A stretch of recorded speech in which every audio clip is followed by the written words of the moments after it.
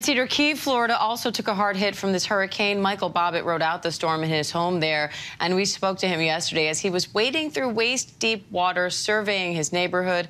Michael's joining me again now for an update. Michael, first of all, I'm glad to hear and see that you are safe because you did have me a little worried yesterday when you said you were walking in waist-deep water. Well, I had a 10,000 pound houseboat that was tied up into the mangroves, and I was worried that it was going to break free of its mooring and and break through some of my neighbors' houses. So I'm happy to report I was able to get there and, and get that boat secured.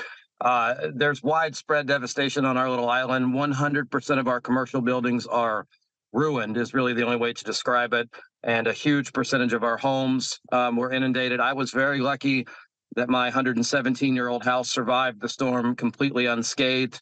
Um, there's there's some existential dread setting in. Uh, you think you have some measure of control in your life, and then nature uh, reminds you of your small place and things. And um, but I will tell you that it's it's been it's been heartening to see the community come together and uh, support one another. Uh, almost immediately after the winds and the waters receded, people were out cleaning up yards, helping neighbors, bringing food, checking on folks, doing rescue missions.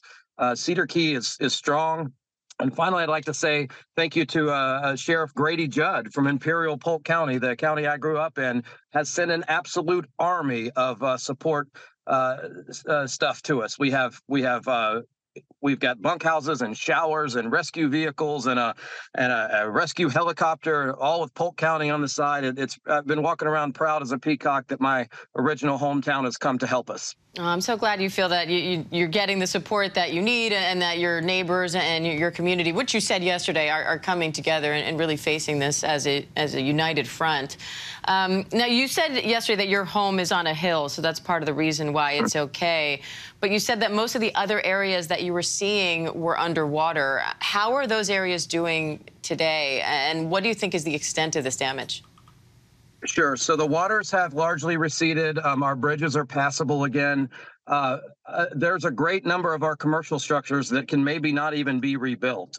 Um, I think uh, most of the homes will be able to be rebuilt, but uh, catastrophic is the only only way to describe the damage. Uh, Governor DeSantis is going to be here today, and uh, so far the response from federal, state, and local government has been overwhelming. And I'm hoping with the governor's visit today, um, I'm certain he'll do everything he can to get us the rest of the resources we need. But it's I think our our recovery time is going to be measured in in months, uh, not not weeks.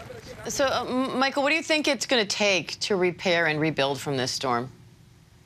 Well, hopefully uh, FEMA will help out. I, I know that in these low-lying coastal areas, especially in Florida, it's gotten harder and harder to to get insurance. So I know that uh, uh, compounding this tragedy is that a great number of the people affected aren't insured. So uh, we're hoping that uh, FEMA will send some federal dollars, uh, and it's just going to take a, a, widespread effort of folks that care about one another to make sure we've got our neighbors' backs and to pitch in and help where we can. All right, Cedar Key resident Michael Bobbitt. Michael, thank you. Thank you so much. Godspeed, Cedar Key. Uh, good luck to you and your neighbors, Michael. Glad you're safe. Thank you. Hi, everyone. George Stephanopoulos here. Thanks for checking out the ABC News YouTube channel. If you'd like to get more videos, show highlights, and watch live event coverage, click on the right over here to subscribe to our channel. And don't forget to download the ABC News app for breaking news alerts. Thanks for watching.